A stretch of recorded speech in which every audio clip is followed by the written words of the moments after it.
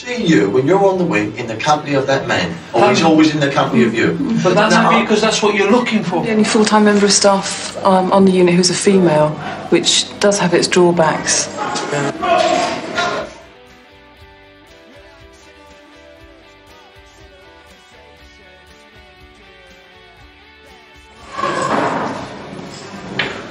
I know there's still bad feeling between you and McAllister, and a lot of that surrounds Brenda. Yeah, I know that. I've been trying to take the edge off it. Well, it's different here. It's uh, mind games. Oh, come on. It is. It's mind games. It's all. It's all nice. You see in the morning when you get up in the morning, you're walking down the stairs. there must be about twenty officers that says good morning to you. It's never more to than see 12. the response. What response they're going to.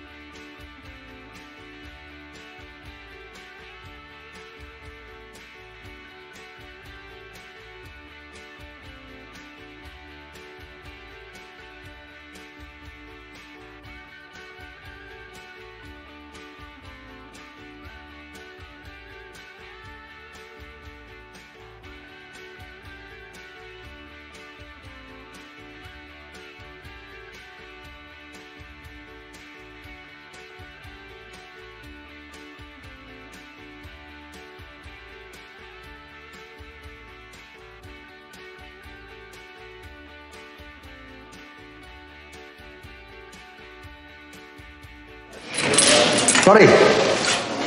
After. Just go down the seg unit. Just go down the seg unit.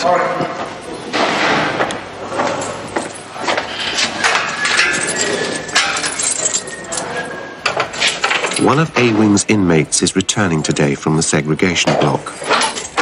He's an ex heavyweight boxer serving two and a half years for burglary and assault, and three and a half years for assaulting staff at Hull. On the day he went to the block, a restraint team with helmets and shields stood by in case of trouble. But the special unit's officers persuaded him to go quietly. All right, yeah. Now, in an extraordinary move, they've successfully appealed to the Board of Visitors over his punishment, and his solitary confinement has been reduced by eight days. Paul Sykes was disciplined for abusing a prison works officer who came into the special unit. Later, the charge was quashed. As soon as I got here, I said, You must keep the screws out the main nick from coming in. Well, I said that for a reason, Harry. I know what vindictive some of them are. And I am in the nick now for belting a screw here, well, two screws here. And if they don't keep out that, if they don't allow to wander in, I've got no protection. Are you with me? Now then, the screw's coming out the main nick, gone in the office. Paul Sykes has hit me. Three days later, I'm nicked for assault. I said, I'm not playing. I'm not playing. Go ahead with it. Go ahead with it. Some kind of game it is. I don't know what kind of game it is, but I'm not playing. I'm watching through the window and I see the board of visitors come in. Four of them. Two of them had done my parole application, did my parole application, and the other two have strolled about the wing when it first opened, wandering about, smiling benignly and saying like, uh, "How lucky you are! What lucky chaps you are!" And I've given them all a coating, every one of them give them a coating. Told them that they're here to protect prisoners' rights. That's what they're there for, to see the system doesn't trample on them. That's what they're in the, in the, in the job for. I said, everywhere you go, this statutory rights is being obliterated. And what does he say? When he was the Minister of Prisons, he said, It's not our policy to let inmates know the rules. Well, I know the rules, yeah.